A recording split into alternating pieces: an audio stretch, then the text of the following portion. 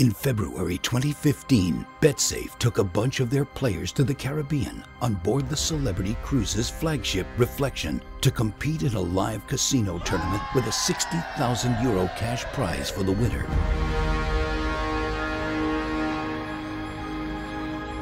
It's been really awesome for me to experience this. It's going to be fun to see what's going to happen. Everything is so fantastic. 46 players competed in roulette, blackjack, and slots, and after several hours of intense casino action, it was narrowed down to six lucky finalists. Some of them are really good, one especially, and uh, I'll keep my eye on him.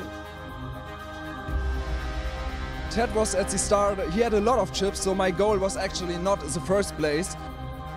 Jag vet en person, det är Ted. Han är grym, han kan detta. Han är den största hotet här på finalen. Place your bets, please.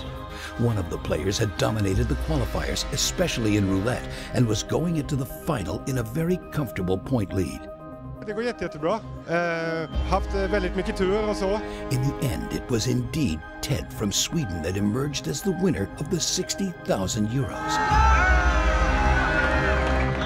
But this is where the story gets interesting. The tournament climaxed in one final spin of roulette, where Ted, the winner, betting on either red or black, could double up his winnings to 120,000 euros. It's gonna be the color of love. Since childhood, Ted has had a visible scarring in his left hand, forming a distinct number three, making it his lucky number for as long as he can remember. And while visiting Puerto Rico earlier on the same cruise, Ted had a custom leather bracelet made for himself featuring the very same lucky number three. Ted only needed the ball to land on red.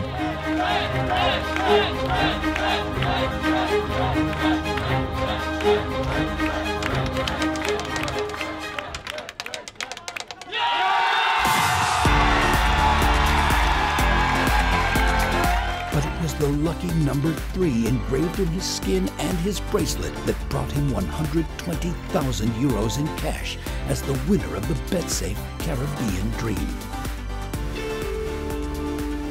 Want in on the action? BetSafe's next dream trip destination is Las Vegas. Click here for a chance to win the ultimate Vegas trip for two worth 10,000 euros. Pack your bags, hit the road, set off for a journey like no other, and make your dreams come true with BetSafe.